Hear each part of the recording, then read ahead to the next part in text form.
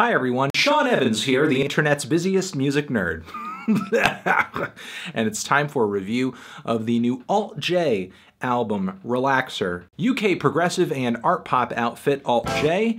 This is their third full length album, which I was really excited to hear due to my enjoyment of their past two albums. And I thought the teaser tracks from this record, uh, leading up to the release, were pretty decent. And if you had asked me about Alt J back in 2012 when they released their first album, An Awesome Wave, I most likely would have told you that they were one of the more unique groups to debut an album that year. With their kind of seamless and very inventive blend of hip hop and pop music, electronic music as well, uh, with a touch of folk, their sound was really idiosyncratic, not only with the blend of styles, but the band's approach to groove, also the very yelpy, nasal lead vocals from the band's frontman Joe Newman, and yet the band's music was so freaking catchy, not an easy balance to strike. Now, the band's follow up record, This Is All Yours, took a much more obtuse and subtle approach. This album was the definition of a slow burner. A lot of tracks on this thing were not consistent sonically with a lot of what was on the band's debut, which in my opinion, was okay because the band had proven on their first record that they were so above the fray that what was their sound really?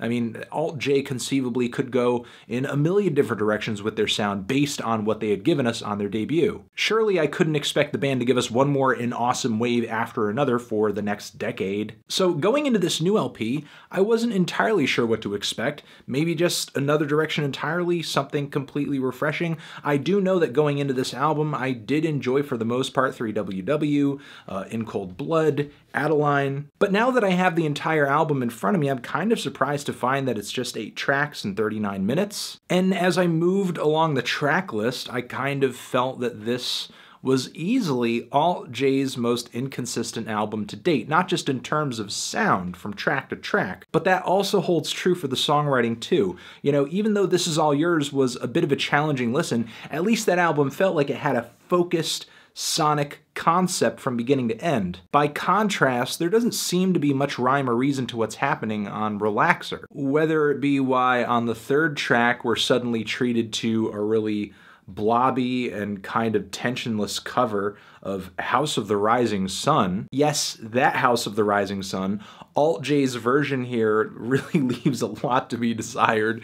And then suddenly we are transitioned into one of the kookiest and more hard hitting songs on the entire record, Hit Me Like That Snare, where I think the band mistakes uh, effortless awkwardness for swagger. So not only do we make some weird surprise transitions between tracks and songs, but occasionally some of the tracks themselves uh, within the song are kind of difficult to follow or sort of tedious like the finishing pleader uh, on the album, while the end of this track may have some really grand choral vocals and a, a, really beautiful instrumental presentation, the very sleepy lead up to this moment makes the end feel almost inconsequential. Trying to get the band to deliver uh, one of these more instrumentally lavish songs in a direct fashion is kind of like getting someone shy to start a conversation. Occasionally, I think the band's roundabout approach to songwriting on this record does kind of work out. I mean, I do still like 3WW, especially as an opener. I do think it kind of sets the tone for the record, as um,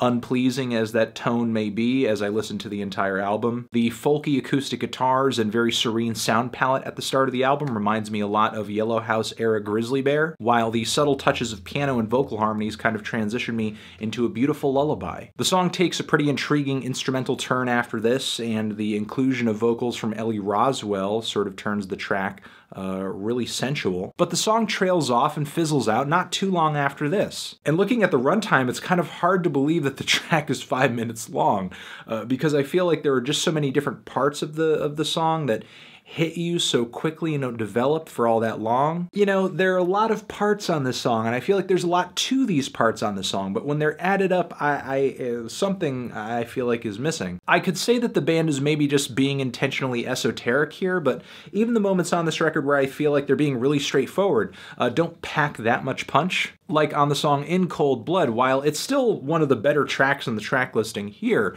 uh, I will take many songs off of an awesome wave over this any day. Though, again, the boomy percussion and the epic horn sections on this track, the groove, the kind of tinny, very bright synthesizer arpeggios, they're definitely a saving grace uh, among some of the paler songs in the track list. Dead Crush is easily another pick for me as a favorite on the album, uh, while I do think that the synth bass line is a little lazy and that the guitars that are driving are uh, a bit plain. You know, the atmosphere isn't the most colorful or eccentric as far as instrumentation uh, when it comes to Alt J, but the lead vocals and especially the falsettos are very kooky, very fun, and incredibly catchy. Adeline still stands out as one of my favorites on the album, easily the best slow burner here. It feels like a really gradual cinematic ascent into the night sky with all these hypnotic percussive taps and swelling orchestral instrumentation that's really cloudy and pillowy and beautiful. Some of the wild background vocals in the last half of the track I feel like is, is one of those moments where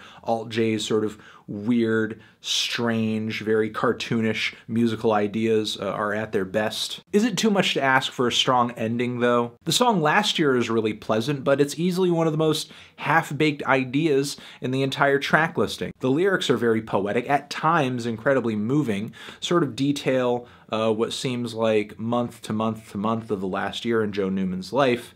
Uh, a lot of very personal moments sung about in this song. I like the closing duet in the second half of the song as well. Uh, but again, it just feels like a linear moment where the band doesn't really stick to or develop any one idea long enough for anything to stick or have a significant amount of consequence to it. I'm not really sure what happened with this album. I can't help but feel like the band put some kind of strange and very unorthodox uh, limitations on the writing and maybe the recording process of this record in order for it to have turned out the way that it did. Because it feels like a lot of the ideas, a lot of the writing feels really Fly By Night, Lightning in a Bottle. Again, the band doesn't stick to any one idea long enough. Everything's sort of progressing in a linear fashion, not too much in the way of repeating choruses, refrains, which I don't necessarily think are bad limitations to put on an album.